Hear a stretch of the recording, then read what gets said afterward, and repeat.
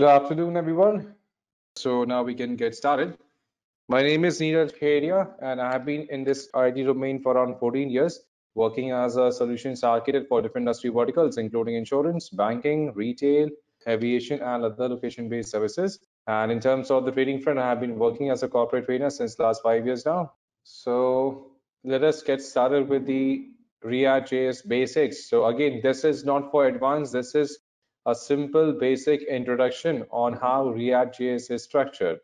Now, first of all, we let's talk about what exactly React.js is. Then we'll talk about React.js installation, the simple hello world program, and then we are going to discuss on top of React.js fundamentals as a part of simple hands-on. So this is what we are going to cover as a part of today's journey. So what exactly React.js is? So React.js is what? React.js is basically one of the most popular libraries offered by Facebook. So again, just like we have Angular as which is a, like a framework, a full-fledged framework offered to us by Google. Twitter offers us Bootstrap. Same way Facebook designed and launched React.js, which is like not exactly a framework, but just like a library, just like we have a jQuery library, which adds which can be used to design the front-end applications. So this is what React.js is.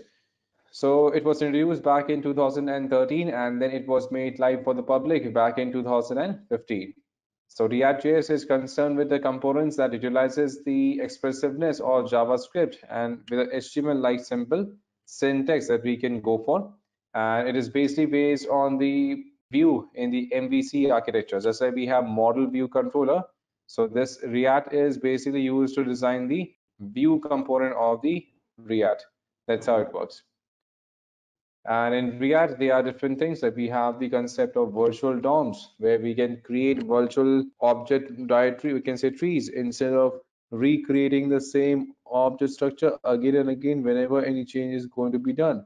And this thing simply makes React.js much faster as compared to other platforms so that we don't have to recreate the same tree again, the complete tree set again and again if we have to update just a one single tree item and this makes the entire process of fetching data much quicker as compared to the other platforms.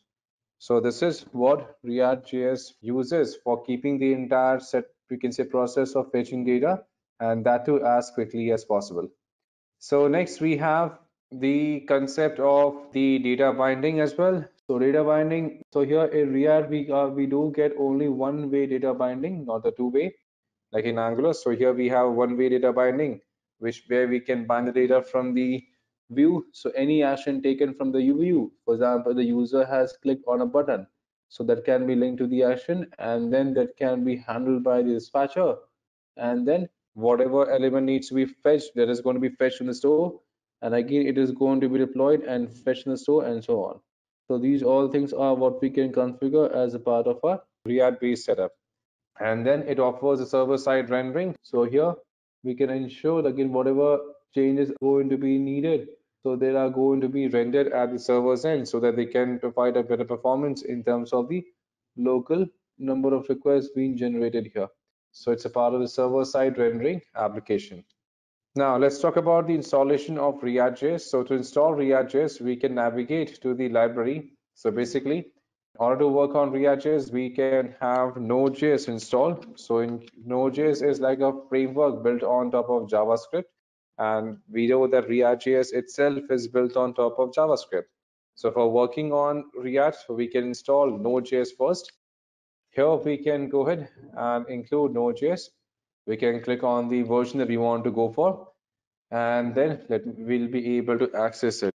So we can download the, the installer and then once we have installer set up then we can go in and open up the terminal. So if we open up terminal just to ensure that node has been properly installed we can type in node double space and double space then double hyphen version. So if node.js has been properly installed then we would be able to see the version of node returned to us as in version 14.7 now node also allows us to have the access to something called as npm as in node package manager so we don't have to install npm it is automatically installed once we are going to have node.js installed. So we can use npm and then we can type in the command as install. Now to start working on React application, we can simply install one library called as create React app. So basically this downloads the, the package setup so that if we are going to create the React app, then we do need to have the access to multiple libraries and those are going to be automatically configured when we are going to run this create React app command. So as you can see, this one has been installed successfully. So once we have create React app installed from npm, we can use the command as npx, and then we can use the package as in create React app, and then we can give the app name. Let's suppose here we want to call the app as demo app. So in the current location, the create React app is simply going to, okay, demo app is already there.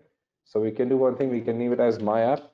So this is going to create an app called as my app and all the required libraries for React that is React, React DOM, React scripts, again, they all are going to be downloaded and the dummy application for running on top of React is going to be configured. And that is something that we can start customizing the way we want. So first thing first, we have to run the command as npm, and then we have to use install create React app. Then we have to run npx space create React app, which has been installed successfully. And then we can find the app name which can be anything. So this is going to install all the libraries from the create react app command. And then we will be able to have the code structures available that we can create and build. So first of all are we clear on the installation of the react based application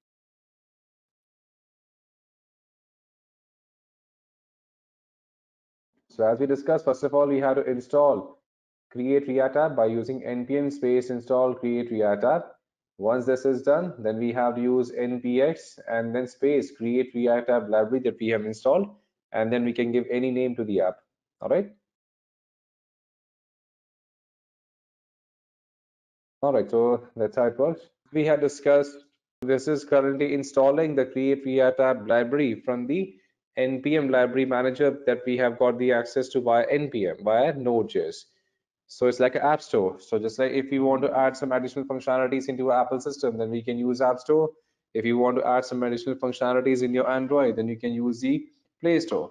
So same way we do have the store we can say the library available for npm which is going to have multiple packages required to be up and running for the node and then we can directly install them so that we don't have to manually go ahead and configure the scripts all right?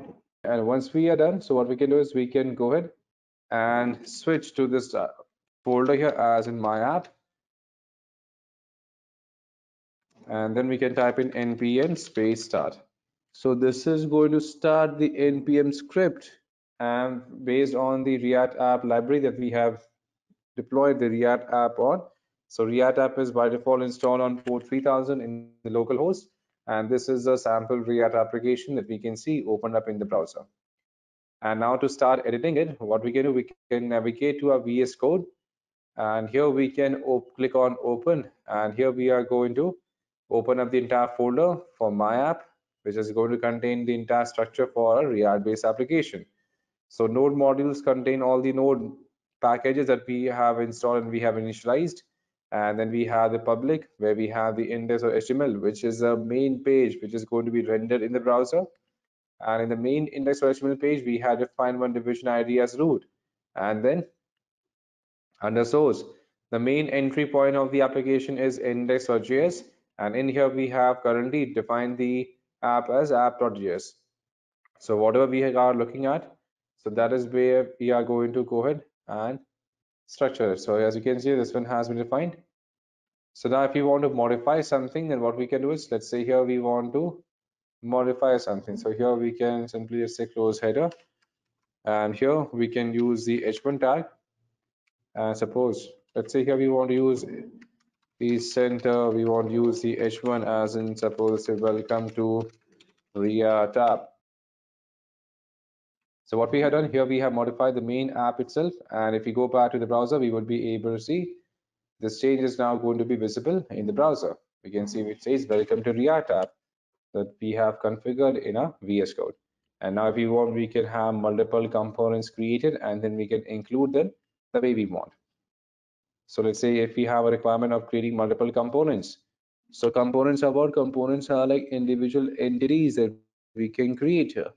For example, let's say we are talking about any store. For example, here we talk about, let's say Amazon. So Amazon is also divided into multiple zone, multiple components. So we have a search component on top, we have a complete header component on top, then we have then we have components for slider for different categories.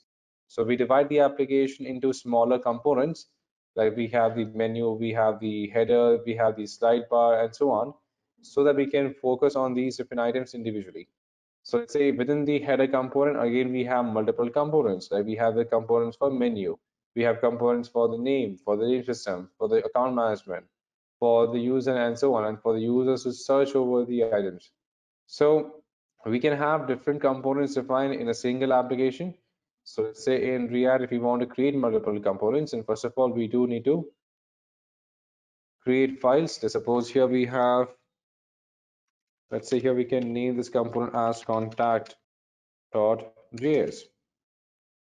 So now if you want to get started, we can simply first of all import React and then we can import component from React.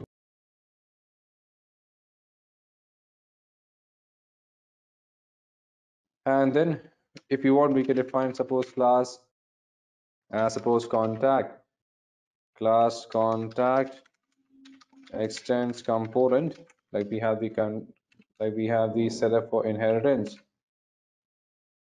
Then we can define the render function. Now within render let's suppose here we want to define return.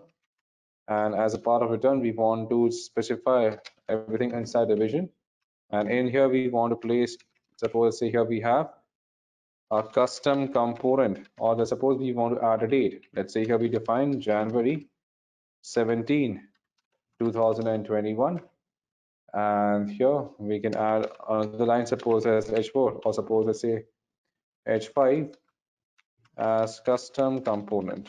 Custom component.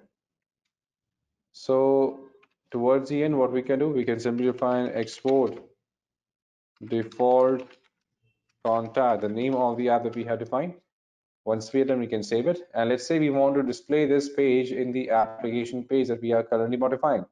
So first of all, we have to import the content that we have defined. So here we can define import. Now here we want to import contact component from contact and we want to display it after we have placed h1. So what we can do is we can simply import contact. So whatever component, whatever data we have mentioned under contact, is now going to be displayed here as two individual components being displayed together. So are we all clear on how exactly we can set up a React-based application and how exactly we can create a custom core component and how we can include them together? All right then, so again, a big thank you to you all for joining and have a great day ahead.